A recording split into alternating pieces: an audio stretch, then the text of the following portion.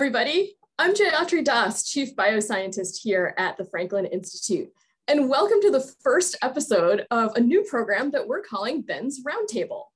So I'm excited to be joined today by my friends and colleagues here. Uh, Derrick Pitts, Chief Astronomer, Darryl Williams, uh, our Senior VP for Science and Education and an engineer by training, and Rachel Valletta, our Environmental Scientist.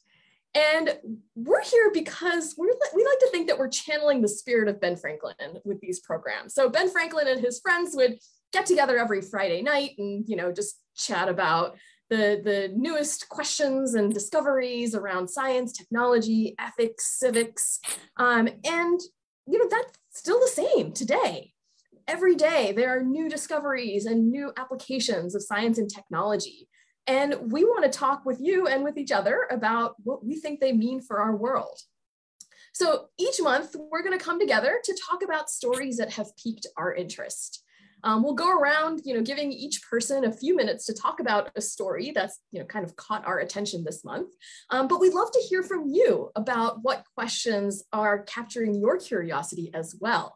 Um, and, you know, we'll try and work those into the rotation of stories that we talk about. So all right, let's talk about how this is gonna work. All right, I'm keeping time.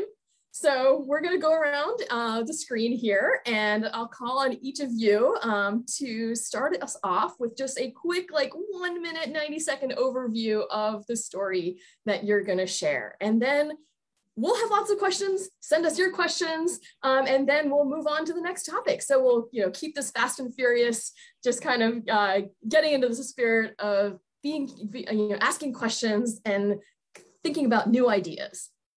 All right, so Derrick, you are up first and you're going to talk about this idea of internet from space. What's that all about? Yeah, thanks a lot. This is a really interesting piece of space technology that has piqued my interest recently. You know, the SpaceX company that we've all come to know over the last couple of years uh, is uh, uh, embarking on a new technology to help bring internet to people all across the world. Here, the idea is that Elon Musk, the CEO of the company, wants to provide low cost broadband access for people all over the world. Now, to do that, rather than use cell phone towers, he's actually put in a system that we now call a constellation of satellites. There are 1,600 in orbit already that have started this program providing access to the internet around the world but he wants to add quite a bit more of these. In fact, he's applied for a license from the FCC to put up 42,000 of these. Now, just think, this would provide internet access all over the world at a low cost, so it sort of democratizes access to the internet. But here's the catch. One catch is astronomers are a little disturbed about this. And the reason why is because these satellites are very reflective, and astronomers taking long exposure photographs of the night sky to discover new objects way out in space are beginning to see these satellites showing up in their in images. So right now there are just 1,600, but imagine if there were 42,000 of these satellites, what that might do for research astronomy in a not so good way. And then the other thing we might be concerned about with this is, do we really need 42,000 additional satellites? But wait, we're providing internet access for folks all over the world. Here's a bit of interesting news about space technology to chew on for a minute. Whoa, that is a, a trade-off. right? Derrick, can you help us put the 42,000 into context? I mean, are there already tens of thousands of satellites or are we talking only hundreds that exist up there now? Oh, that's a really good question. You know, the way this is broken down, we think of it as there are something like 20,000 uh, easily detectable, radar detectable objects. But there are really many, many, many smaller pieces of space junk around. In fact, it's gotten to the point where many technologists are very concerned about the incredible amount of quote unquote space junk that's up there because it could come to a point where that's going to make it difficult for us to have access to space altogether just mm-hmm. because there's so much junk in the way. So if we're adding more, you might think that's a good thing because of what we're providing for everybody else around the world. But on the other hand, maybe it's not so good. Hmm.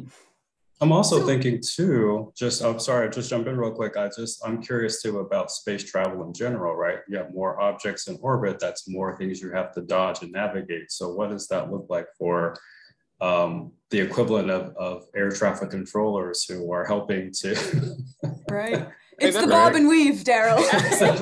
and you know what? And guess what, Rachel? You're not far off because NASA already does this with International Space Station. You know, International Space Station is the size of a football field. And believe it or not, there have been occasions when NASA has had to move International Space Station because they've been concerned about a piece of space junk coming too close to space station in its travel. Mm. Now, think about it. This, uh, these objects travel at 17,000 miles per hour. So even something yeah. the size of a ping pong ball can do extraordinary damage. So, you know, what do we do here? More so internet Derrick, access or clean up space? I'm curious about like who makes this decision, right? It's not like we can go to like city council, right? Like who owns who owns space? Well, that's an interesting problem. Nobody owns space. We've all agreed that we're going to treat space in a certain way. But when that system was being set up in the late 50s and early 1960s, there was one thing that was overlooked. And that is that we didn't really tag any of these spacefaring countries or anybody that put satellites up. We didn't tag them with a responsibility to deorbit the satellites once their life is their life period is over with. So there are lots of quote unquote dead satellites in orbit that are simply defunct, not working, broken, ran out of fuel, all these sorts of things. And many of them are high enough in an orbit that they'll hang there for hundreds of years. So we need to start thinking about tagging everybody who uses space with the responsibility to deorbit their junk when they're done with it. We had a question come through in the chat and it's one that actually I was I was going to pose myself but thanks to the audience for sharing it. Can the satellites have different lighting or shape or something that would differentiate them? And I'm thinking in my mind we do all kinds of image adjustment anyway when we're doing space observation. We do it here with satellites watching Earth in the reverse. I mean, can we can we sort of do the same thing so that we take an image incorporating these and sort of subsequently subtract them out? That's a great question. And in fact, are, we're coming at this problem from two ends. One end is that astronomers are trying to figure out how they might be able to digitally subtract those objects from the images. So as you know, astronomy has become far more digital than it ever had been in the past. It's all going in that direction. So the digital aspect allows that kind of thing to happen if we know when and where these satellites are going to show up. So on the astronomy side, there's some work happening. But over on the SpaceX side, the manufacturer side, SpaceX is even trying to figure out how they might be able to paint the satellites in such a way that they are far less reflective. And in fact, the CEO has said, this is not going to cause a problem for astronomy, wink, wink. But the other thing he has said is that if it does, we'll do everything we can to mitigate that issue. So it's still left to be seen how this is going to turn out in the future, but I think astronomers have a reason to be concerned given that the kinds of astronomy coming up in the future are going to be images taken of wide swaths of the night sky in high resolution on a very, very high speed basis. And collecting the whole sky like that, images of the whole sky may show up more and more of these satellites. Derrick, I want to ask one other question from the audience here too, because I because it, it was a question on my mind too. With all of these 40, you know, 42,000 satellites, we talked about you know physically potentially bumping into each other, but what about their signals? Do they interfere with each other? And well, with other a, satellites that are up there? Yeah, that's a great question. And, and and you're right, you would think that might happen. But you know, as it turns out, the frequencies for radio communication can be extraordinarily discrete, especially digitally. You know, we can digitally select a frequency, a very, very narrow band, and we can filter it really well and protect it against other frequencies. So what the FCC does is they assign channels for certain kinds of communications, and everybody has to abide by that because if they don't, not only might they tread on somebody else's signal, but their signal might also be lost. So it really behooves everybody to behave properly in terms of radio traffic.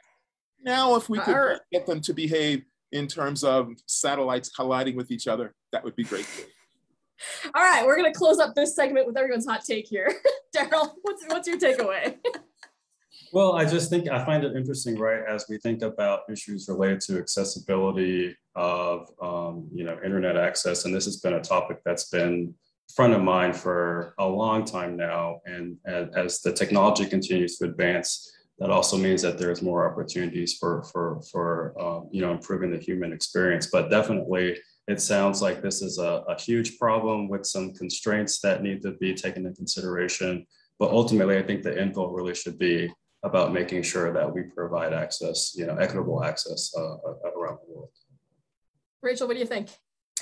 Well, I'll uplift what Darryl said. We're always talking and thinking about equity. I, I think it's a it's a it was one of these sticky conversations we need to delve into. Um, but I guess you know some of these huge problems often result historically in huge technological advancements. So I'm really excited. We heard from, from the audience, maybe there'll be an autonomous um, LEO junk cleanup robots. Maybe there'll be some sort of robotic advancements, or maybe some sort of invisibility cloak. I don't know. That's my that's my hope here.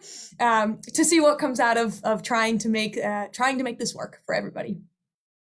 Yeah, and I think for, for me, you know, what, what you said, you know, Philadelphia is one of the biggest cities in America with the lowest um, percent of people who have access to broadband. So this is an issue that affects us right here at home. Um, and my question is like, what are the alternatives? You know, is mm. it, you know, it can't be 42,000 satellites or nothing, right? What are the, what are the other options that we have to solve this problem? Derrick, last word.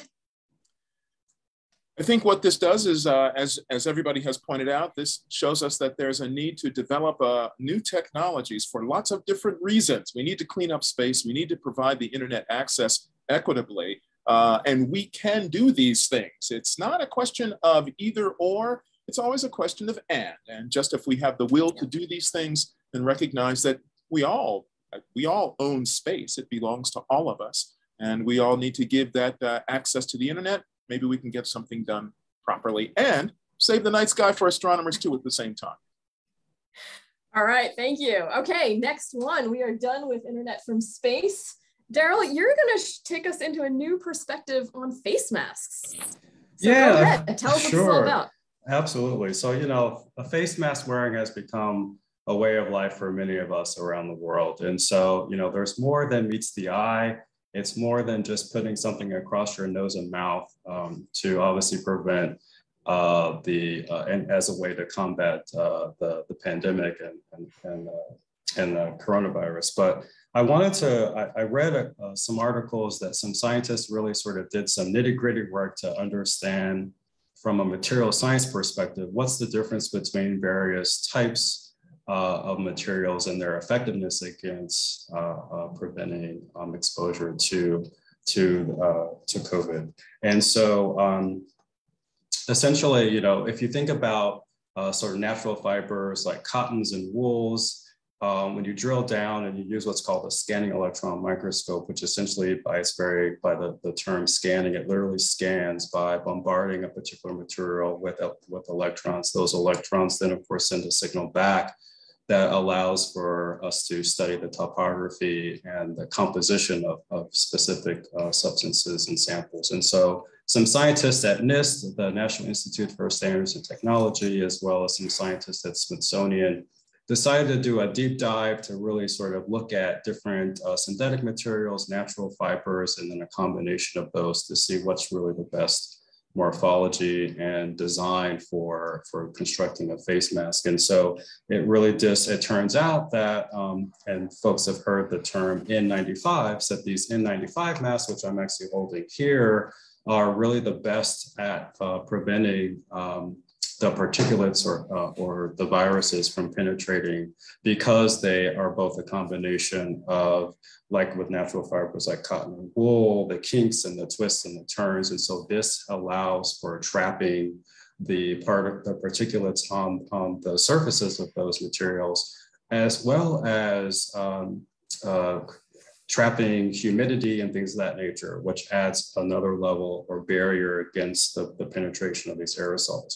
And so if you're out there and you're, you're contemplating what type of face mask to get, your best option is gonna be a natural fiber like a cotton or a wool, or one of these N95 masks, which is really designed at, at a multi at a multi-layer level, which consists of both the uh, more uniform as well as these um, uh, sort of disorganized patterns that uh, prevent the, the particulates from coming through um, and for you breathing or inhaling these into your into your body. So Darryl, can you talk a little bit of, uh, about how these face masks are made? Like, I think we know, you know, many of us are familiar with like how you make fabric, right? That there are fibers that you weave together. Um, but with these other types of masks, like how, how do they get made? So I'm actually going to show, if I can share my screen, I'm going to show so that to help sort of yeah, answer this question. And if you take a look here, so this is an example of, and can you can you see, um, oops, I didn't hit the share button. That's important. Great, so let me know if you can see this.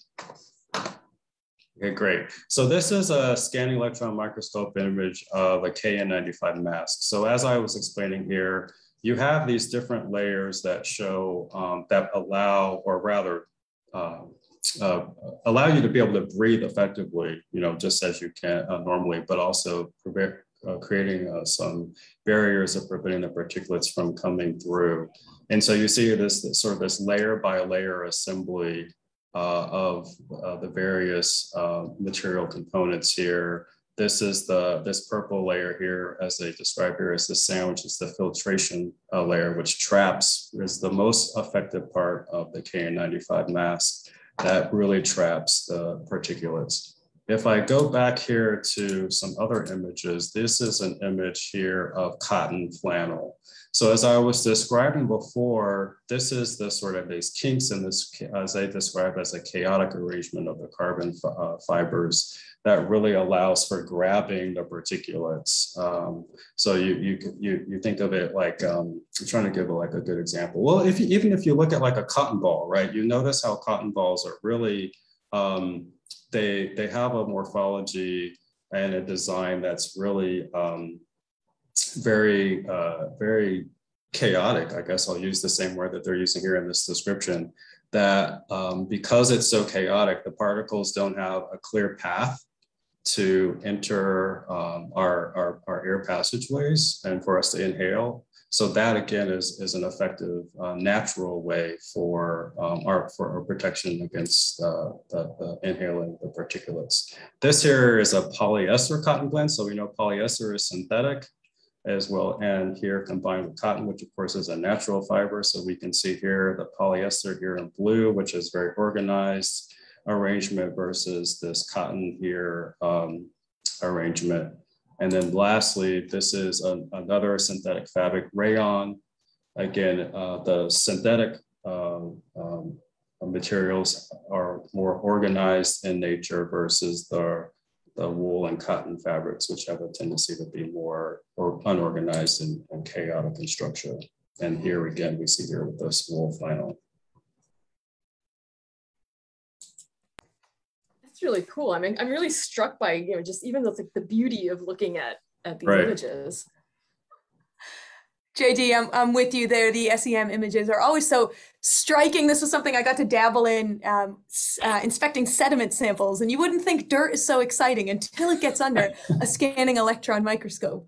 Um, but Darryl, you know, I think what we're what we're hearing here, and I just want to celebrate, is that innate chaos built into sort of environmental materials and natural materials. In this case, could be a great, great benefit um, for all of us. Um, and and I don't know, I, I just I love thinking about you know activating uh, natural chaos. I think that's a, that's a phrase I'd like to take forth from this conversation. right, right.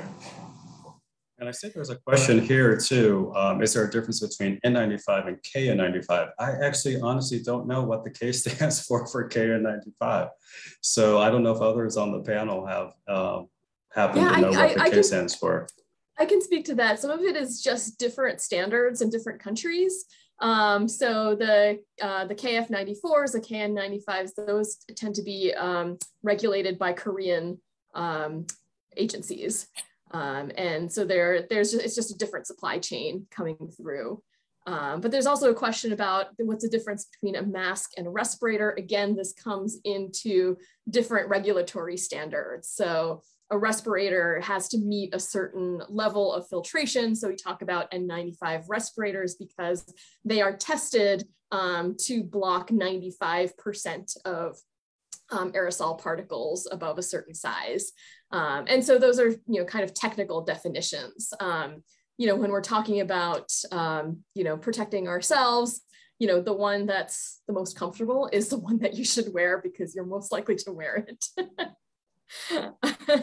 so, so, I have a question for you, Darryl. You know, what, sure. the, what this suggests to me is that, you know, should I be caught without my mask someplace? if I'm going to improvise, maybe it's better for me to consider using my cotton undershirt with my my wool flannel shirt on top of that, as opposed to reaching for a rayon or a nylon piece of material someplace. You know, I'm thinking about those people that think that you know just a, a, a you know a bandana is enough.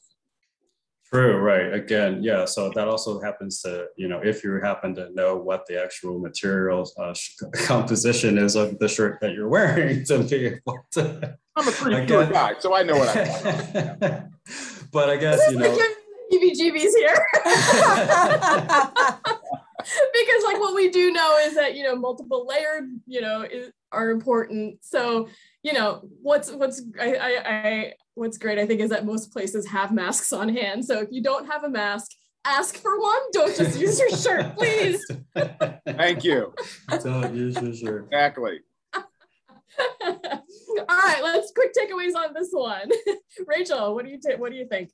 Well, I'll revisit my previous comment uh, just about celebrating um, built-in natural chaos of environmental natural materials um, and and how we can sort of you know come upon existing existing stuff right? Like existing natural materials um, and use them to our great benefit. I'm always um, amazed at, at how how how diverse an array of materials exist um, naturally this way and all of the innovative ways that humans have sort of stumbled upon uh, utilizing those materials. Mm-hmm.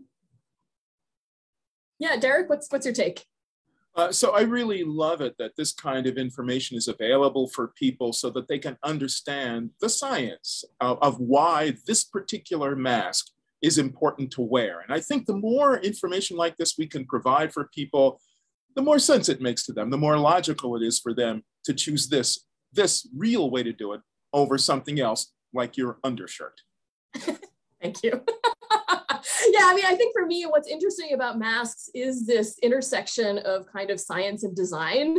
Um, we also had a comment of, you know, that, you know, especially for folks who wear glasses, you know, wearing masks can be uncomfortable. And sometimes a, a solution can be as simple as just like taking a band-aid and sticking it, uh, you know, your, your mask in place to, to keep it um, and so, you know, we have this tech, you know, amazing technology, but it still comes down to understanding, you know, how people are built and how people use these items to figure out how to make them most effective.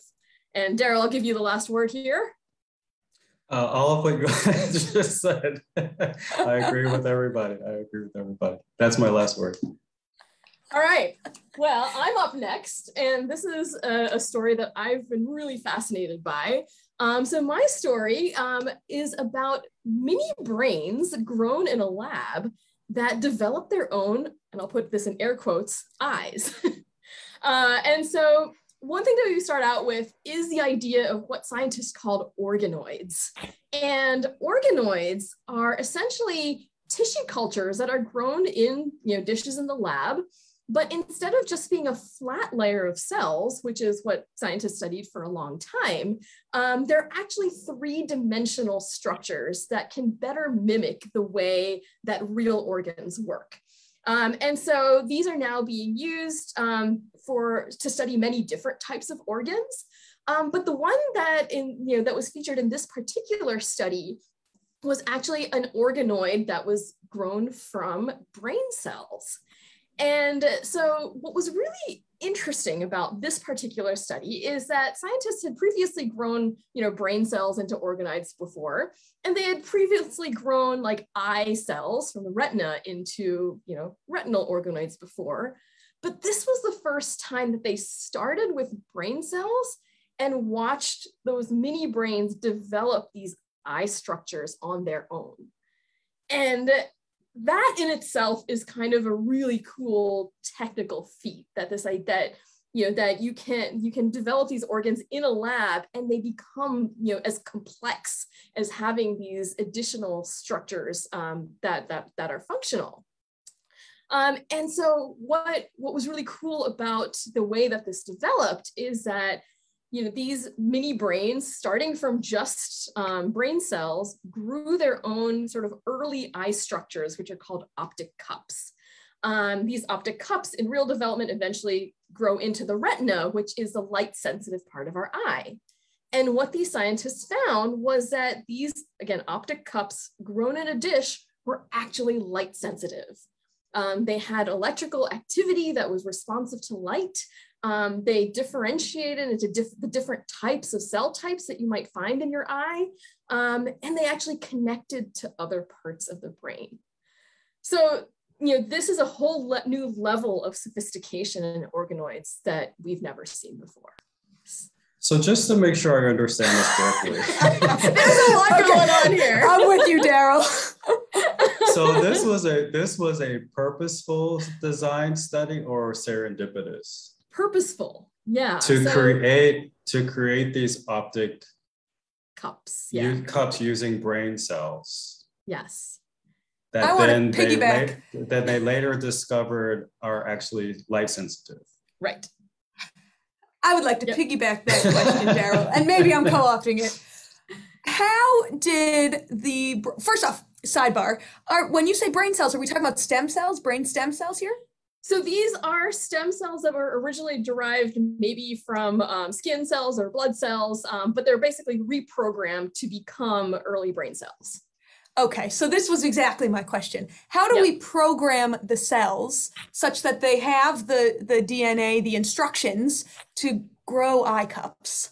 Yeah, that's a really great question. And you know, basically every cell in our body contains the same DNA, contains the instructions for becoming ev- you know any kind of cell. Um, but if you catch them early enough in their development, or if you chemically, you know, reprogram them, you can essentially reverse engineer them. So something that used to be a skin cell, you can kind of take away the instructions from becoming a skin cell and then reprogram it to become any other kind of, you know, any kind, other kind of cell in your body. Okay, and not to be too sci-fi about it, but can they also limit the instructions so that it just stops at the eye cup right. and doesn't then develop legs? Uh, this is a qu- good question. so they didn't go that far. but there's actually, I think, a second part of Rachel's question, Derrick, that that that that'll lead me to, to yours as well, because what they did was they started out with just so every mini mini brain started from 10,000 of these early brain cells. And all they did was add a chemical that's related to vitamin A. Vitamin A is important for eye development, and just let them go. And this is the, this is the cool thing is that they developed like they timed when they gave um, you know this this chemical to to the to the applied it to the brains um, so that it roughly mirrored the timing of when eye development starts happening. And so these cells, you know, were able to just oh. be cued by this, you know, by this vitamin A related chemical to grow these eye structures on their own. And so that does raise a really interesting question about like, what happens if you let it go even further? right? In this case, you know, they they they studied the cells at 30 days and 60 days to analyze what was going on. Um, but neuroscientists and ethicists are really interested in thinking about this kind of question is like what happens now that we know that you know these kinds of structures can develop on their own and what does that mean in terms of how we work with them so I should say that the, the, the reason that that you know we're not just doing this for this you know for kicks here, right? there are a couple of really good reasons why we're doing this. Um, so being able to study these three-dimensional um, organoids gives us a better understanding of the complexity of the human body. So we can better understand um, diseases and development.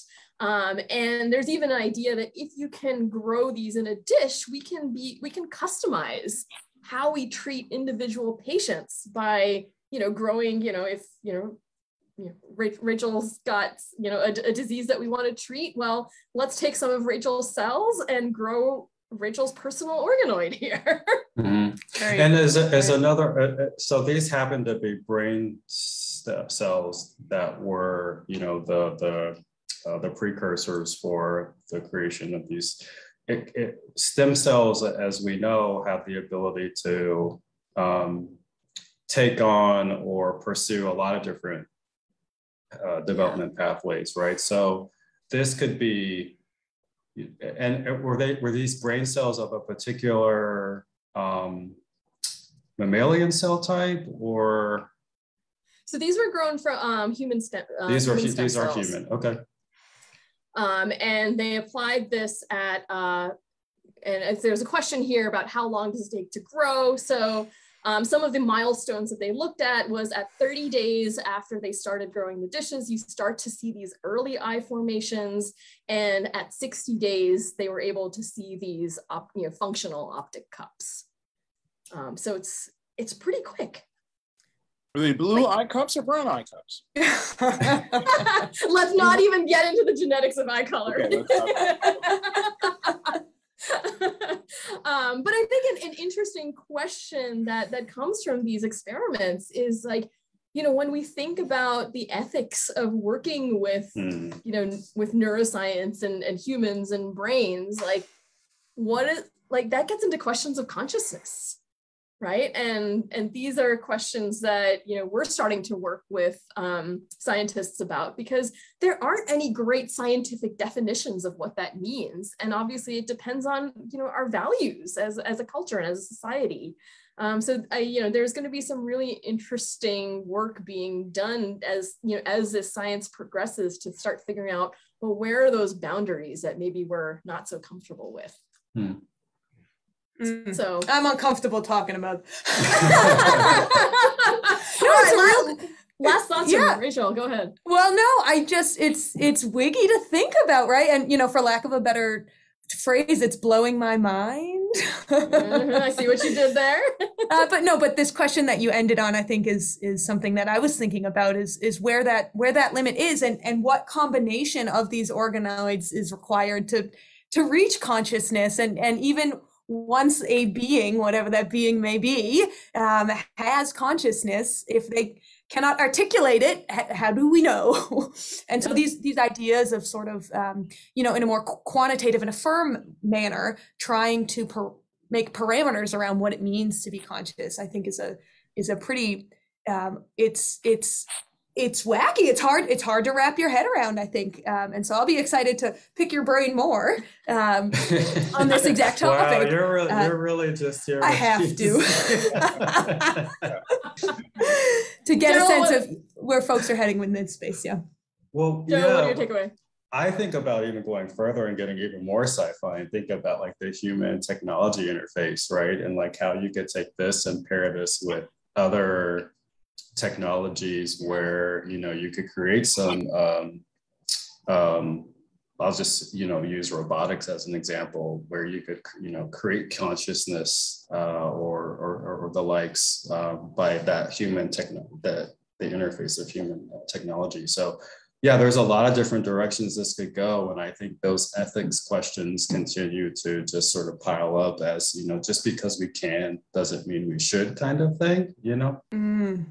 Derrick, what's what's your word on this? So yeah, I'm all about these ethical questions too. I mean, that's really the reason why I asked about the brown eyes, blue eyes thing is because of the humanity humanity part in this. But uh, at the same time, being the space guy, I'm also wondering what are the implications for long duration space flight? Is there some mechanism way down the pike in the future in which these kinds of technologies might be applicable to allow humanity to to uh, expand out into space? Yeah and even more near term like you know these are really a lot more convenient to study in space to, to understand the effects of yeah yeah Mm-hmm. All right. Well, that crosses that off the list. Rachel, you are up last here. Sure. What you got? So I wanted to, you know, bring a story to all of you and our audience today that's been kicking around in the climate change uh, news space. If anybody out there is plugged into climate news, you'll have heard of something called the orca plant. So orca like orca whale, but actually comes from the Icelandic term energy. And the orca plant is exactly that. It's an energy um, related plant. But what it's doing is it's sucking carbon dioxide out of the atmosphere. And this is an exciting technology and an application uh, potentially of a technology that we would hope will scale up or grow in the future uh, to do what's called direct air capture or DAC or DAC. Um, DAC is a type of carbon capture technology that many scientists and most of the leading global climate models suggest will need to have available to us uh, to keep global warming to a limited amount in the future. Now, how much do we want to limit global warming to? Well, right now, scientists' most optimistic and aggressive goal is 1.5 degrees Celsius above pre industrial temperatures. So that's what we're shooting for. That's what's been agreed to in what's called the Paris Agreement. You may have heard that term kicking around. So 1.5 C, we want to limit it to. That's the Paris Agreement. And some of the challenges that came out when the Paris Agreement was first made more than five, almost 10 years ago, um, was that we didn't yet have the technology, DAC or other carbon capture technologies available to us that would help us get to 1.5 C. There's a couple what are called pathways. So these are basically different roads we could take, different maps we could follow uh, to limit global carbon dioxide emissions. And almost all of those feasible roadmaps include this direct air capture technology. So it's very important, very, very critical that the global community figures out how to not only reduce carbon emissions into the atmosphere, but pull out historical existing carbon dioxide emissions that exist in the atmosphere. So we saw just last week the first such plant um, be installed in Iceland, and they're promising to take about 4,000 tons of CO2 out of the atmosphere annually, which is um, pretty tiny. So it's exciting. So I want to say I have tentative excitement around this. It is very exciting, but as Nature Magazine um, put it so succinctly, I think it's like trying to empty the ocean with a teaspoon. 4,000 mm. tons sounds like a lot, but really we need to be scaling that up to billions of tons of CO2 annually if we really want to meet that Paris uh, Agreement limit of 1.5 degrees Celsius warming. So how, how does it actually work? right, I totally skipped that in my excitement. well, essentially, direct air capture, as the name sort of implies, is capturing or sequestering or pulling down carbon dioxide directly out of the atmosphere and basically putting it into the ground.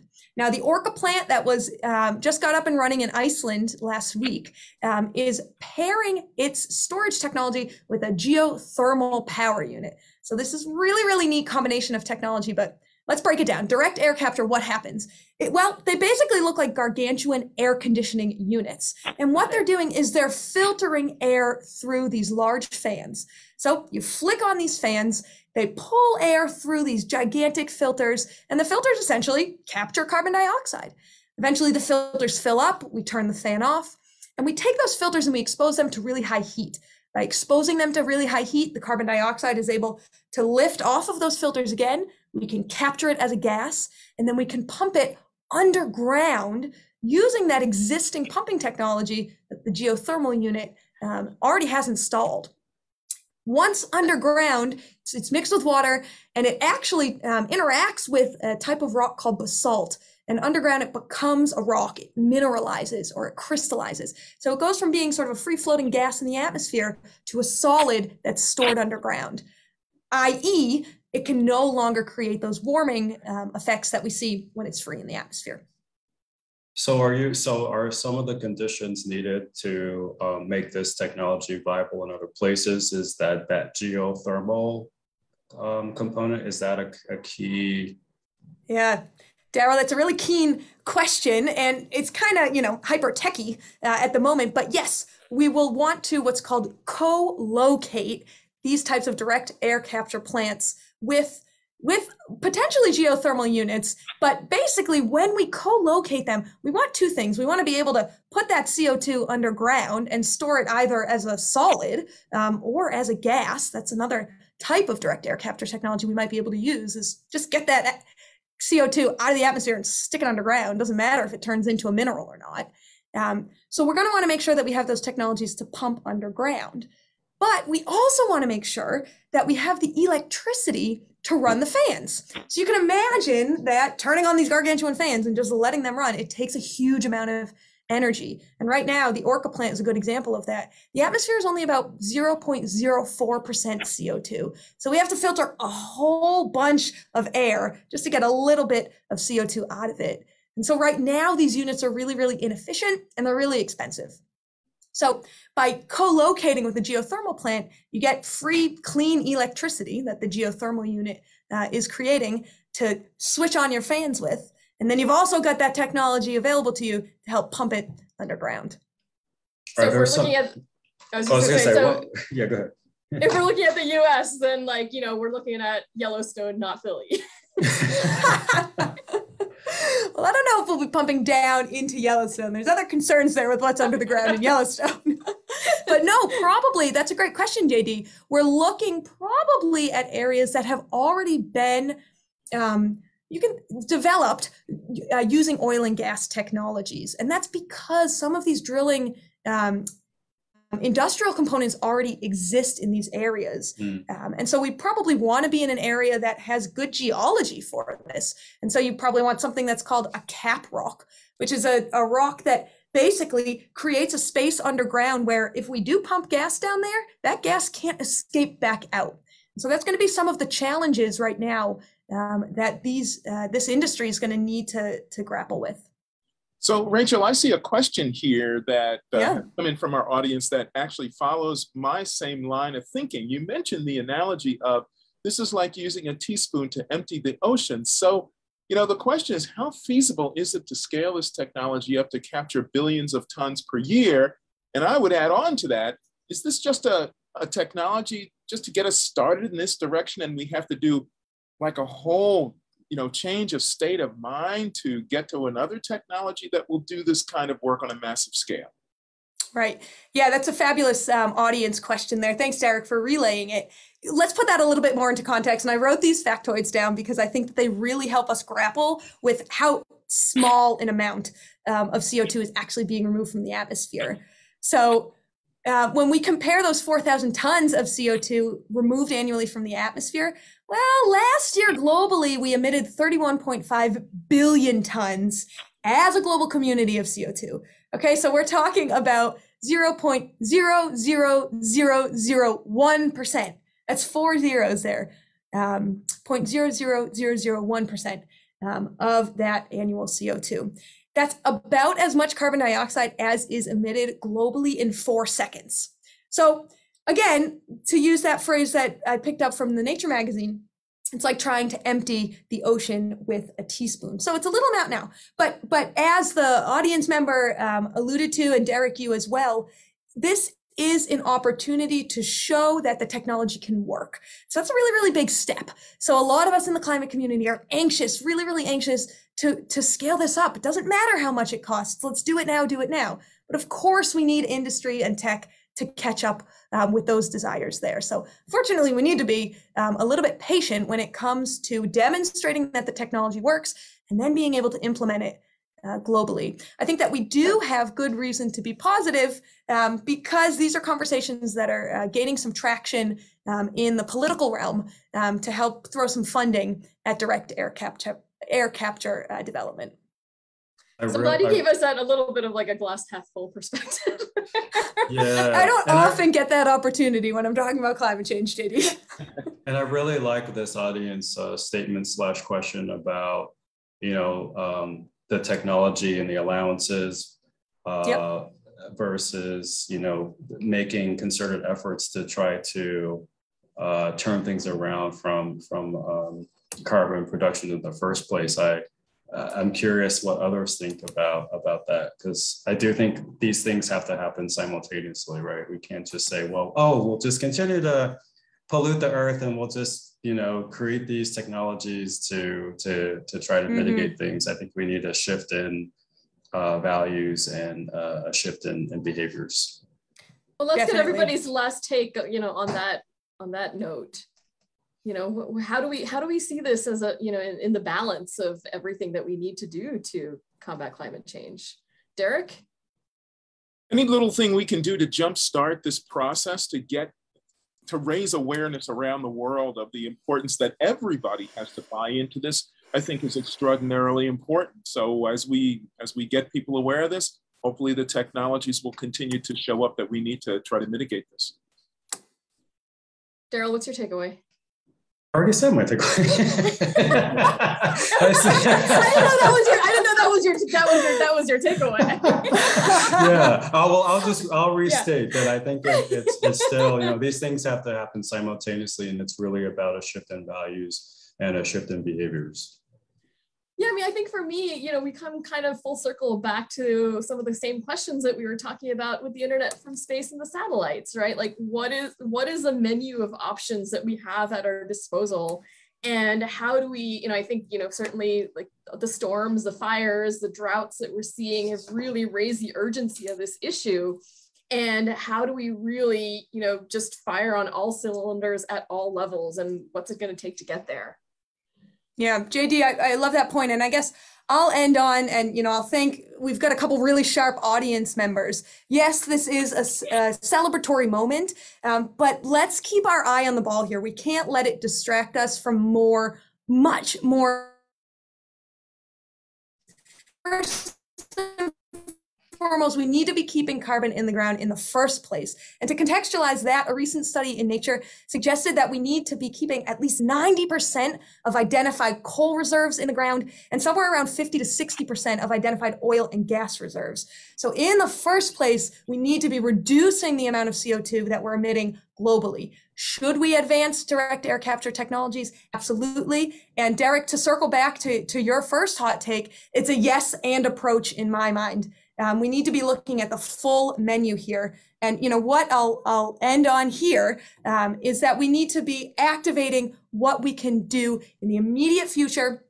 And that is leveraging our voices. I always say when people ask what's the most important thing we can do about climate change, make sure you're talking about it. Make sure you're voting on it right now, especially voting is an especially powerful tool that we have in our toolkit in the United States to move our elected officials towards supporting technologies like direct air capture and also also also taking funds away from supporting some of those existing polluting technologies because these are going to need to go hand in hand if we want to have any any realistic opportunity to limit global warming to something that's going to be livable for the vast majority of humanity. I think that's such a great point in thinking about, you know, where where do we as individuals have the power to make change?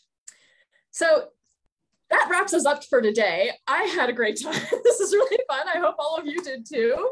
Thank you for your questions. Um, we'll be back next month with a whole new round of stories. Um, if you see things in the news um, that you read that spark your curiosity, send them our way. We'd love to hear what's on your mind um, and talk about those. Um, and we look forward to joining you again next month. Thanks so much, everybody. Have a great day. Thanks, everybody. Come on. Yeah. Bye bye.